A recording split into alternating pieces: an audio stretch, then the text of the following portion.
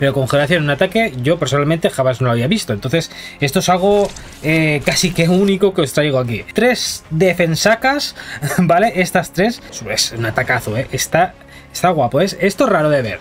Esto, yo no lo había visto aún. Este vídeo es para ayudar a muchos en los ataques de la capital. Aquí veremos cómo derrotar un distrito con solo dos ataques. Espero te sirva de ayuda y tú puedas ayudar al canal compartiendo el vídeo, dejando comentario, haciéndote miembro o dando un super gracias. ¡Vamos al lío! Buenas novembreros, buenas novembreras, bienvenidos a Clan Noviembre YouTube. Yo soy Super Gori y aquí vamos a ver cómo atacar a Laguna de Globos en dos ataques, conseguir el 100%. Y es que esto es muy importante para conseguir más oro. ¿Por qué se consigue más oro? Porque consigue destruir más edificios, más distritos en menos ataques. Entonces vamos a darle a repetición, la primera repetición, y voy a estar explicando las cosas un poquito por encima. Y aquí, por ejemplo, mirad, botín disponible 8445. Pues unos 8500 es lo que se va a llevar en dos ataques, es decir, más de 4000. No está nada mal. ¿Qué va a hacer aquí? Como veis ahí debajo lleva arqueras, rabias y arietes. ¿Vale? Esto es como el primer ataque para hacer una incursión con las arqueras y luego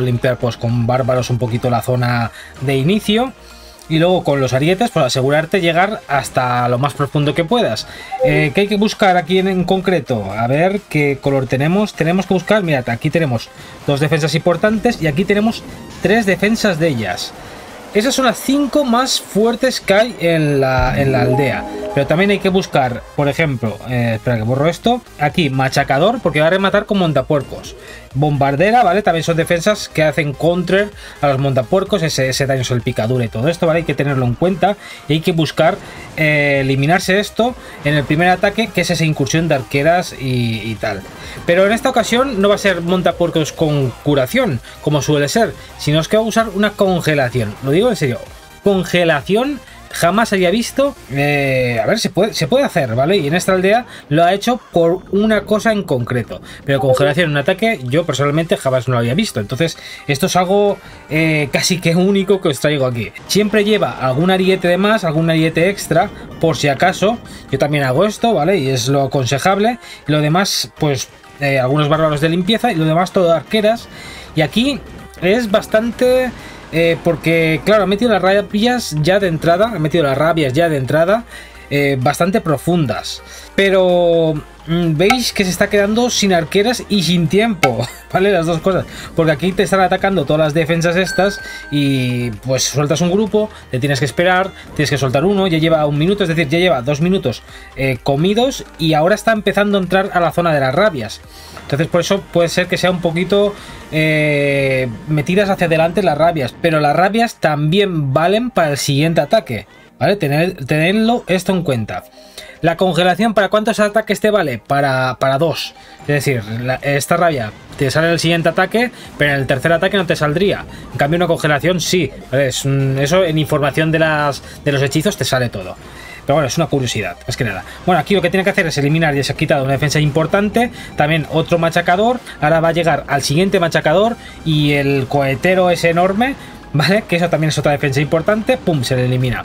Está bastante bien, quedado sin tiempo, empieza a soltar arqueras por abajo, que eso hay que tener en cuenta el tiempo, tienes que mirarlo y si te quedas sin tiempo, pues ya empiezas a soltar arqueras en varios puntos para buscar también eliminarte más defensas. Y también me imagino que ha abierto este muro de aquí abajo para que también se abra un poquito más la área de despliegue para lo que vais a ver ahora.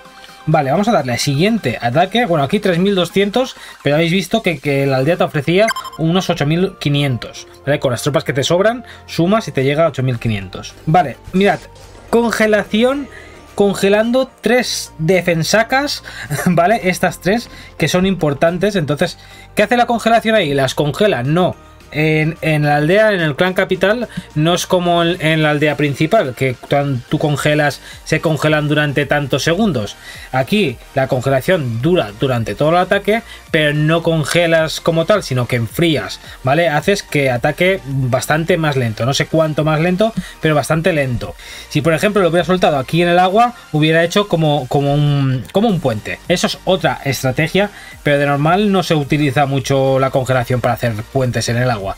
Las como son. Algún, en una, alguna ocasión puntual sí que se usa, pero no mucho. Bueno, congela ahí. Eh, los hechizos que llevaba extra son los rayos, porque claro que va a ponerse un salto. Pues no, rayos para debilitar defensas. ¿Cuál busca debilitar? Por la bombardera, ¿vale? Que nos molestaba. Y ahora está soltando montas así un poquito eh, abiertos eh, para aprovecharse de esa rabia y también está buscando que el, que el montapuerco esté con a la delta, ¿vale? Que es el que estunea. Este es el que estunea. Este pasa por encima de las montañas, como veis aquí todo, llega a la defensa y le hace eso que veis que tiene estrellitas la defensa, eso es que está estuneada, que no está atacando, ¿vale? Entonces hay que buscar que esos montapuercos que van por ahí volando lleguen a esas defensas. Y también está metiendo arietes para romper esos muros, para que se abra la área de despliegue y también para buscar llegar a eliminar antes esas defensas entrando en su rango interno de ataque, que es donde no pueden atacar porque esta defensa en el circulito pequeñito del dentro no puede atacar. Solo ataca en el de fuera. La infernal sí que ataca en, todo el área. Pero este, estas defensas que tienen dos circulitos, ¿vale? En el interior no atacan. Que suelen ser defensas poderosas en lo que es el gran capital. Vale, se las ha quitado, las importantes.